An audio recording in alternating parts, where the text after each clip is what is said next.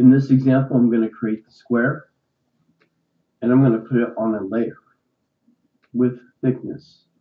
So you've seen me earlier use the rectangle feature to just create a little box for the 90 degree. Well, in this case, I'm going to undo this. Again, uh, remember to turn on your snap and set your settings to match mine.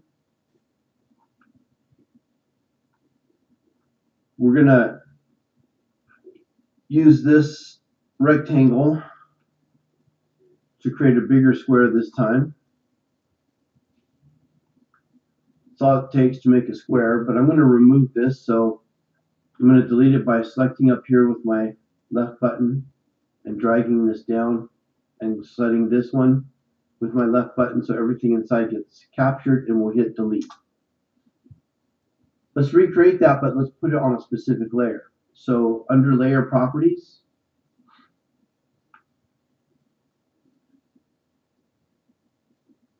I'm going to add a new layer and I'm going to actually give it a name. I'll call it square.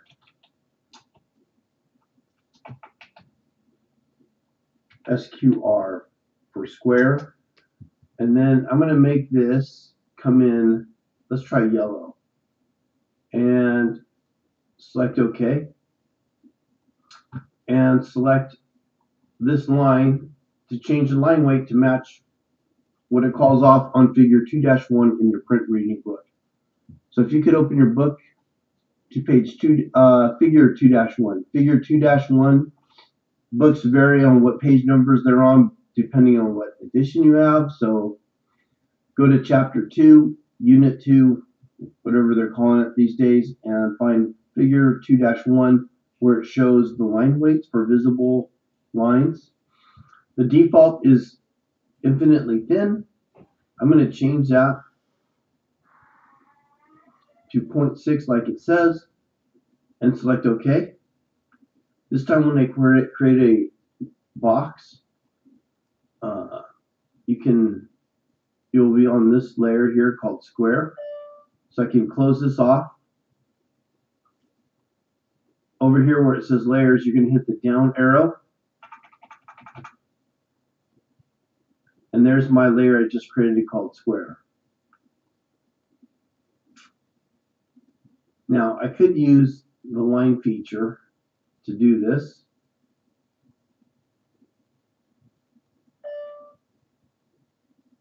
We'll hit escape, uh, hit line.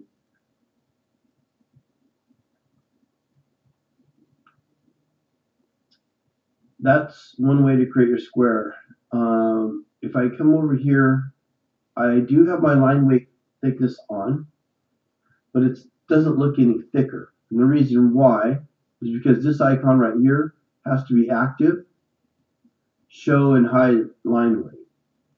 So once I turn that on, you notice how much thicker that line is. Ugh, that's really thick for me. When we're working on small part, it's weird to see it that thick. But that's what the book calls off, so we'll go with that for now. Okay, again, I could use rectangle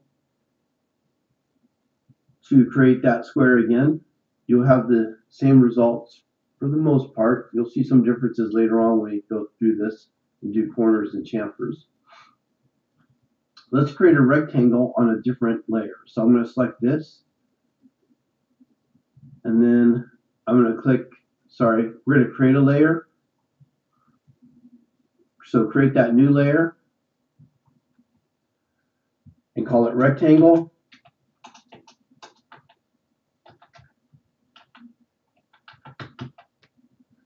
And let's give it a different color.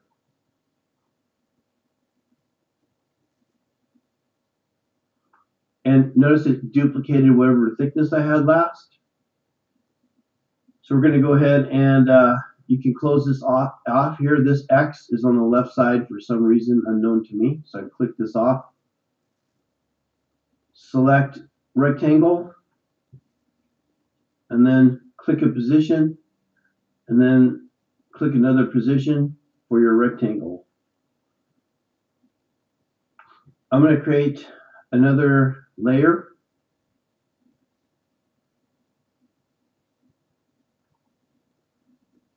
And add a new layer, and I'm going to call it dimension and text. Notice I use all capital letters. Dimension and text is typically red for whatever reason for AutoCAD, and the line weight, say okay to the red, and then the line weight is usually thinner, like, uh, man, I can't remember actually what it was. I'm just going to go back to the default and say okay. So I've created a layer for the text and dimensions. And I'll go ahead and create a dimension at this time after activating my new layer called dimension. Under dimension, if I select this line and select this line, those are equal sides. That is a square. Rectangle simply is a rectangular shape that is not equal sides on all four sides. All right, so that's a square and a rectangle. You'll notice that I don't have parallelogram to choose to create the other ones. So you'll have to use the line feature or polyline to create the remaining features on 4-1. Uh, sorry, figure 4-1.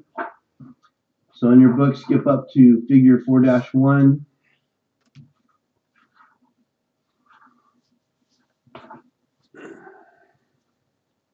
And create each one of those, uh, create each one of the